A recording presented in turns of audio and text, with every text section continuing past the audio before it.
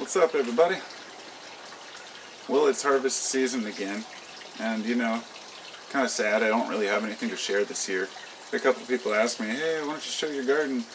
In the last few years, I've always shown my garden. Over here, this whole dirt area actually is like a third of my lawn that I dug up in order to plant my garden, and uh, it's because yards are kind of a joke. But it's just funny. I go through different phases. Like a couple years ago, I was like wanting to get rid of my front yard. Then last year, I reseeded it and took really good care of it.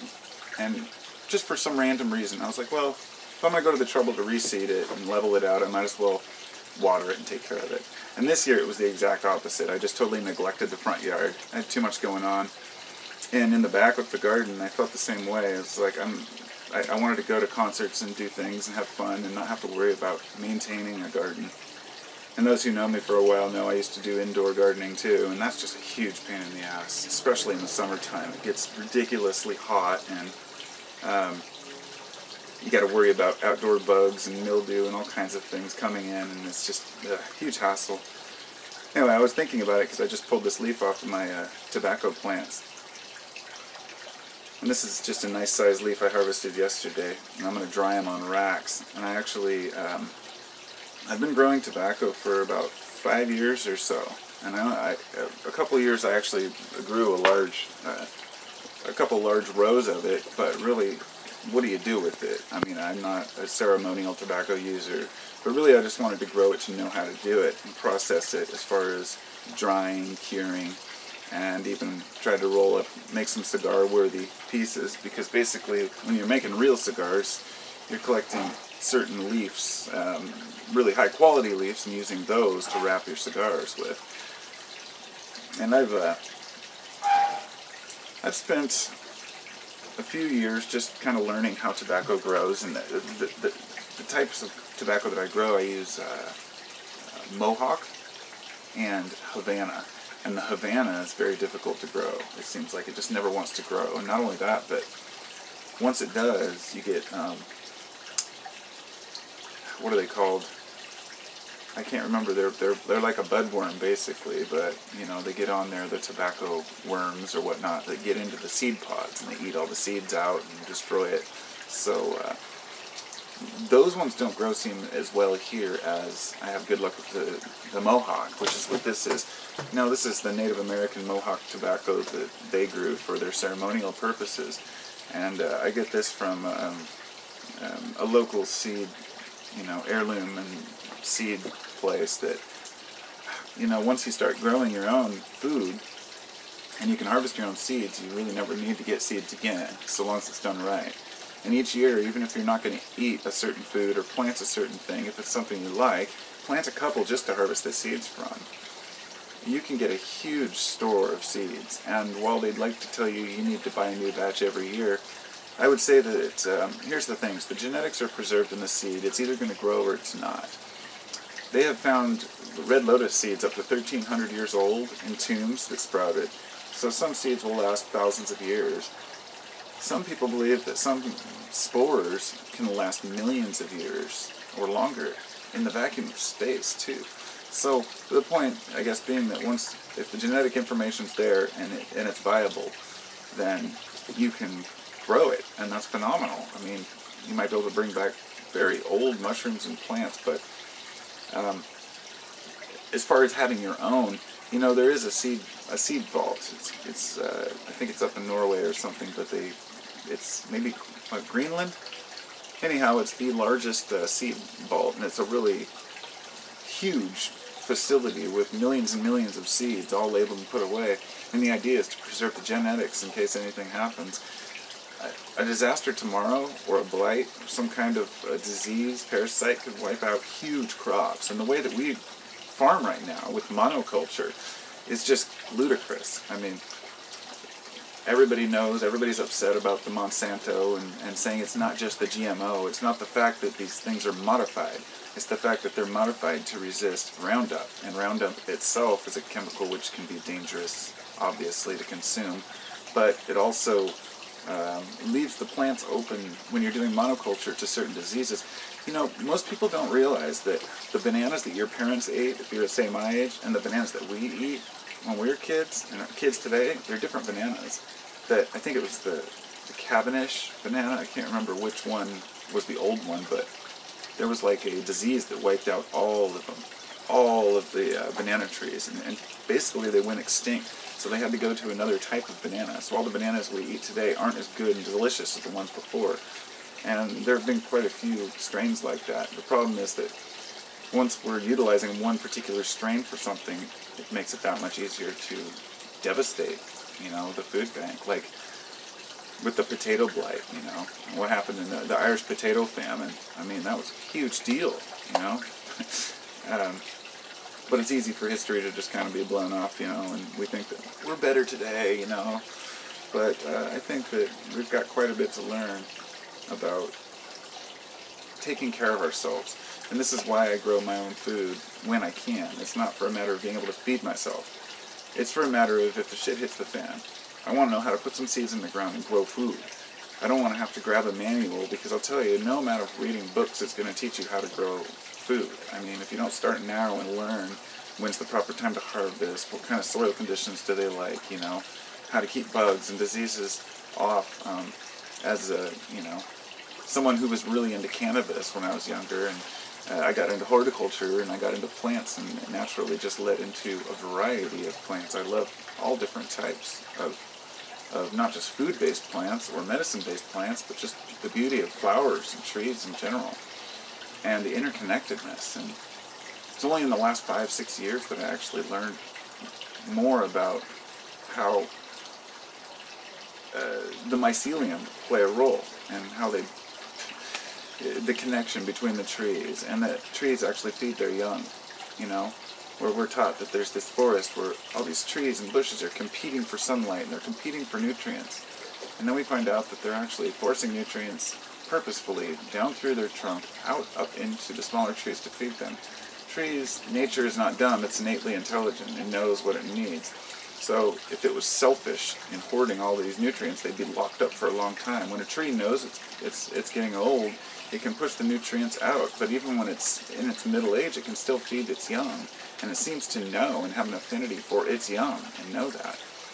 And is that a big surprise? The trees feed their young?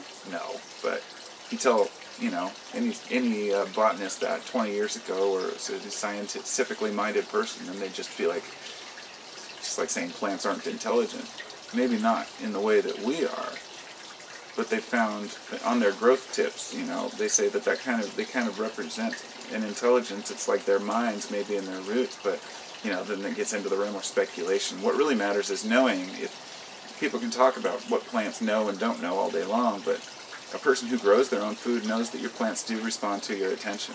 They respond to you putting in the time and effort not just to feed them properly and take care of them, but to actually want them to grow. And, you know, that's taking a leap. I know a lot of people would say there's no scientific evidence to show that you talking to your plants is going to help them grow. Yet I do talk to my plants. I talk to all plants. And uh, whether it works or not, doesn't seem to matter. What really matters is that um, if you love growing plants and you take care of your plants, they will be lush and green for you. And the minute you start to neglect them, you know, and just treat them as a cash crop, um, they seem to lose their magic. There's just something about it. And this is why I have a problem with massively produced crops. And this is what's happening to cannabis. Like things like Colorado, you know, and here in Washington there's huge, huge pot crops that are grown and it's basically you know one strain, two strains, three strains, whatever, but it's done on a massive scale to where no individual plant is really cared for. Does that really matter, or should it matter? Maybe not, but it does to the person who consumes it. Just like a person wants to know that the farmer cared about the food that they're eating, you know, and, and uh, things that are hand-picked as opposed to machine-picked. It's kind of a, a tough one. I mean, nutrients are nutrients, right? Cannabis is cannabis, right? But it's not. We even though we may know that it may be chemically the same, there's just something about it that we like to know that our food's grown properly and harvested properly. So, anyway, enough rambling about food.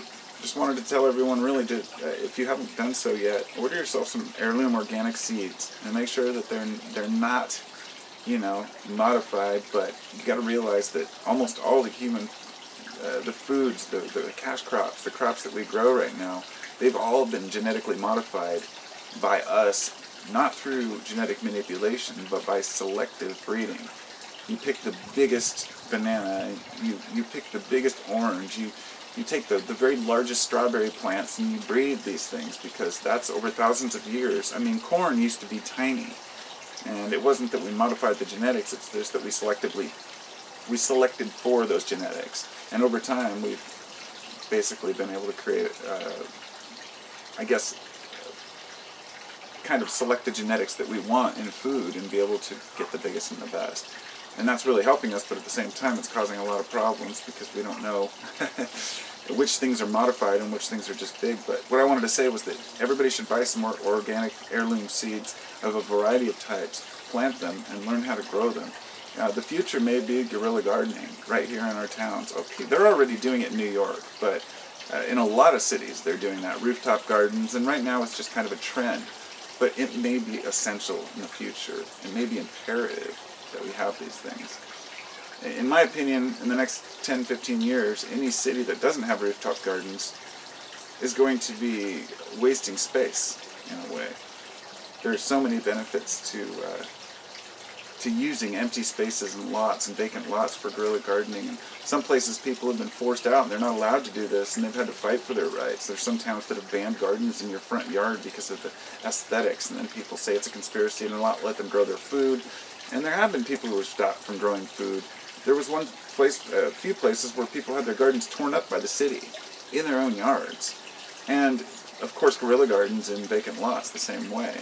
Like it's inappropriate to grow food and it's not that it's trying, it's not that there's a giant conspiracy by everyone to keep people unhealthy. It's just that people are scared of raw food now. We are so used to processed crap and bologna and growing up on Velveeta that all of a sudden when people start thinking of going back to raw milk, you know, unpasteurized foods, it makes them nervous. They hear about one case where somebody got sick and all of a sudden, no, no, we got to step in and, and stop it. It's not trying to make people sick. It's on the contrary, people are just dumb enough to think that by banning raw foods, it's keeping people safe. Uh, and then there are some people, of course, who have a vested interest in the you know, corporate entities and, and their food. But places like Monsanto, they don't have to give a shit about a backyard gardener. They make billions and billions. They, you know, they make their money. You know, it's it's if anybody else wants to force out the small guy, then that's great for them. But long story short, they're making a lot of money and uh, not seeming to care about the public's opinion. So it's up to us to grow our own food. And it's not just Monsanto. I'm not a huge, uh, I'm not sitting here ripping completely on Monsanto. I know that the intention of a lot of the scientists that work for them are good. That they're thinking, if I invent this and I can fix these genes to make this resistant to this, then I can feed more people. That's the thought of the scientists doing the work. It's just the people with the cash, the people on top that decide, well, we're just going to ignore these results or the dangers of GMOs and just go with what we want. And so goes big business. So it's up to us as individuals to grow our own food. So do it if you can. And even if you don't have very much space, come together with your neighbors, maybe take a little side lot, you know, in the front or between your houses or something, and just, you know, start. It just amazes me how many people have never grown their own food and harvested it and eaten it. Even a basic, something as small as a carrot, you know. It's very rewarding, and more people need to do it. And, uh, yeah, those are my thoughts on food. I need to grow more. Here I am talking about my empty garden. You can see it over here. Toot, toot, toot, toot my lowly tobacco plants there. Anyhow, take care, everybody, and uh, talk to y'all.